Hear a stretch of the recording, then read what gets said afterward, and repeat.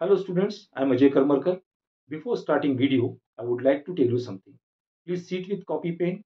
If you find somewhere important, pause the video, note it and proceed on. If you find somewhere difficulty, then please write in comment box. I will definitely solve your problem. And along with, please like, share and subscribe my channel that can reach more and more students. Thank you once again. Now here is the question.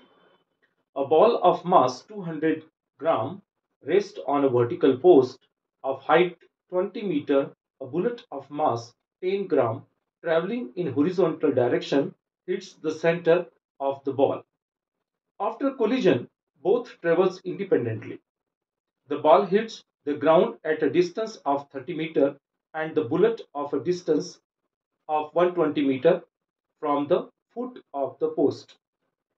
The value of initial velocity of the bullet will be if g equal to 10 meter per second. Here we have given four options. Option A 60 meter per second. Option B 400 meter per second. Option C 360 meter per second. And option D 120 meter per second. This question is based on laws of conservation of momentum and uh, projectile motion. Okay, and what says the question? Here we have given a vertical post. Its height is 20 meter. A ball is kept over it. And a bullet hits this ball and after collide its fall 30 meter away from the vertical post this ball and bullet falls 120 meter away from the post vertical post. Okay? Because both objects falls independently it means separate velocity. Okay? Now let's say uh, initial velocity of the bullet before hitting this ball is considered u.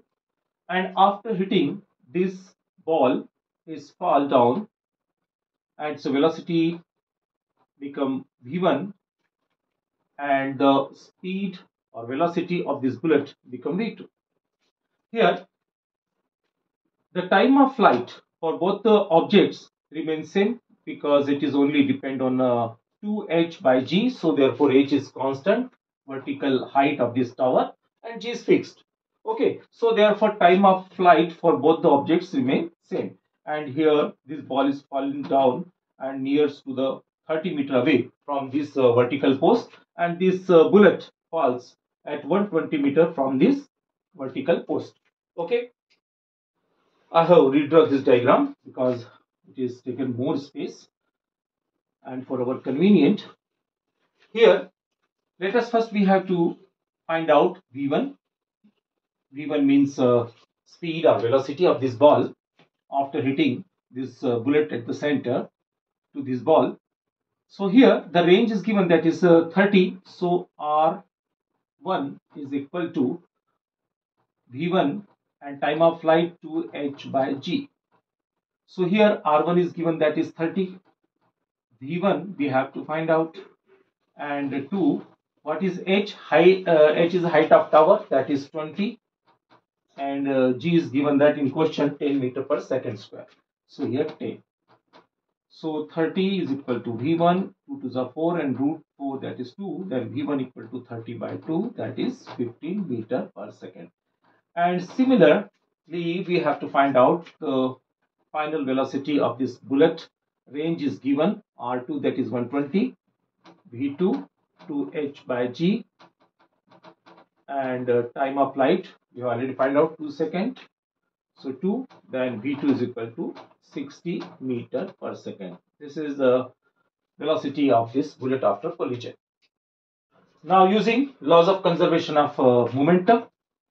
Initial momentum that is uh, m u is equal to here the mass of this uh, ball capital M velocity v1 and M v2.